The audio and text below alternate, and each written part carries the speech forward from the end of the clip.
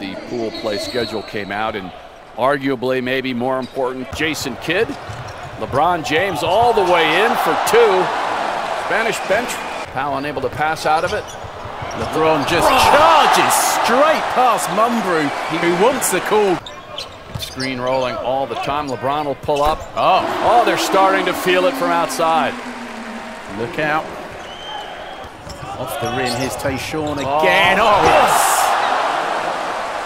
This time it's Tayshaun Prince with the alley-oop, and there's the screen on the zone, and LeBron. U.S. with a chance to stretch the lead. Deron Williams right around and in. Turns into a turnover. Carmelo wide open. Oh. And uh, the route is on, I would say. 22-point lead. with the block. Jason Kidd joining in on the act. 18 points, so he could be the first one to uh, get 20 as Chris Bosh. And, and down they go. LeBron sets up Wade. It's 37-point win for Team USA in their fourth preliminary stage game.